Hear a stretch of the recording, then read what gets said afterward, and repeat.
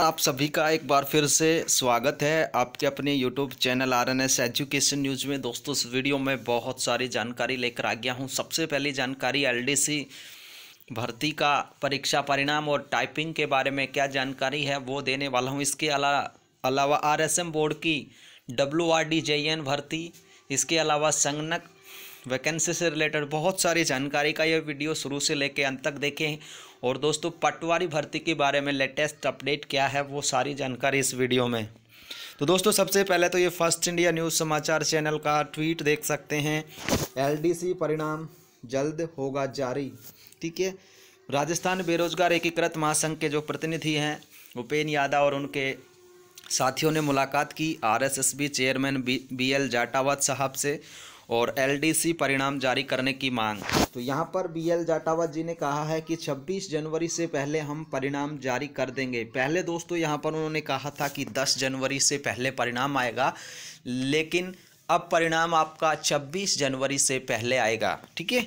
LDC का परिणाम 26 जनवरी से पहले आ जाएगा और इसके लिए यहाँ पर दोस्तों एलडीसी के लिए चार जनवरी को यहाँ पर आरएसएम बोर्ड की यहाँ पर मीटिंग है। उनकी ऑफिशियल मीटिंग है और उस पर चर्चा की जाएगी कि कब तक ये परिणाम जारी किया जाए। उन्होंने 26 जनवरी कही है, लेकिन चार जो जनवरी की जो उनकी मीटिंग आर एस बोर्ड की, उसके बाद तय हो पाएगा। ऑफिशियल अनाउंसमेंट शायद उस दिन आ सकता है चार जनवरी को। लेकिन इतना तय है दोस्तों, एक माह का आपको टाइपिंग के लिए समय दिया जाएगा और पटवारी भर्ती के लिए अभी तक वित्तीय स्वीकृति नहीं मिली है। पटवारी वैकेंसी के लिए बता दें दोस्तों यहाँ पर अभी तक स्वीकृति नहीं मिली है विज्ञापन के लिए। तो ये पटवारी का था लेटेस्ट अपडेट। इसके अलावा चार जनवरी को बोर्ड की मीटिंग के बाद ही तय होगा।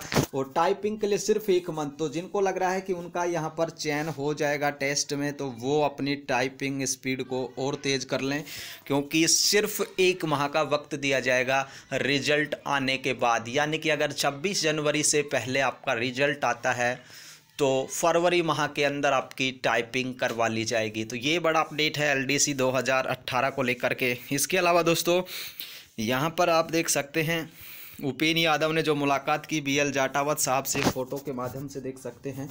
उन्होंने ज्ञापन दिया है यहाँ पर और जो जानकारी उन्होंने दी है, दोस्तों, यहाँ पर डब्ल्यू आर डी पटवारी सहित अन्य भर्तियाँ, लैब असिस्टेंट, पुस्तकालय अध्यक्ष, भर्तियों की परीक्षा तिथि घोषित करने के लिए भी उन्होंने ज्ञापन दिया था।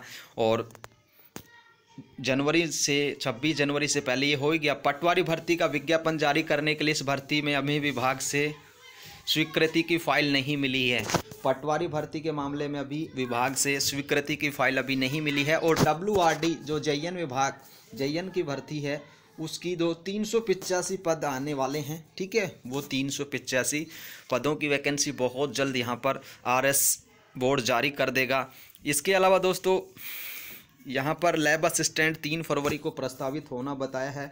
इसके अलावा दस से लेकर चौबीस फरवरी तक की भी यहाँ पर जो एग्ज़ाम डेट आ सकती है, इसके लिए जिला कलेक्टर महोदय से एग्ज़ाम की परमिशन की अनुमति मांगी जा रही है आरएसएम बोर्ड के द्वारा। 10 से लेके 24 फरवरी तक तो 10 से लेके 24 फरवरी तक भी आरएसएम बोर्ड की जो जिनकी परीक्षाएँ नहीं हुई हैं, जिन भर्तियों की, उनकी डेट 10 से लेके 24 फरवरी के बीच में कुछ परीक्षाओं की यहाँ पर डेट आ सकती है, क्योंकि इसके लिए कलेक्टर्स महोदय से यहाँ पर अनुमति ले रहा है आरएसएम एसएसबी बोर्ड।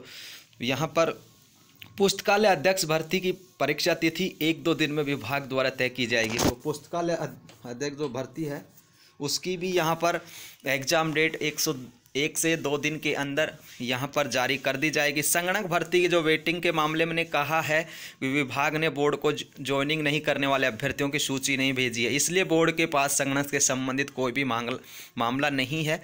संगणक वेटिंग से संबंधित मामला अभी मूल विभाग के पास ही है। यानी कि अभी तक मूल विभाग के पास ही मामला है। उन्होंने अभी रिपोर्ट नहीं किया आर एस एम बोर्ड को कि इतने अभ्यर्थियों ने ज्वाइन किया है, इतने अभ्यर्थियों ने ज्वाइन नहीं किया। जैसे ही वो data R S M S S B board के पास जाएगा तो जितने अभ्यर्थी वहाँ पर ज्वाइन नहीं करेंगे, उन पर वेटिंग लिस्ट आ जाएगी। तो यहाँ तक अभी तक संगणक भर्ती के मामले में वेटिंग का कोई फ़िलहाल चांस नज़र नहीं आ रहा। तो ये था दोस्तों, आज के वीडियो में बहुत ही काम की जानकारी, पुस्तकालय अध्यक्ष जो वैकेंसी है, उसकी एग्ज़ाम डेट एक से दो दिन के अंदर एलडीसी का रिज़ल्ट 26 जनवरी से पहले। इसके अलावा जयन की वैकेंसी डब्ल्यू आर डी जयन तीन सौ पिचासी पदों पर पटवारी भर्ती की अभी स्वीकृति नहीं मिली है, ठीक है? इसके अलावा 10 से लेकर 24 फरवरी तक और एग्ज़ाम डेट आरएसएम बोर्ड की निर्धारित की जा सकती हैं।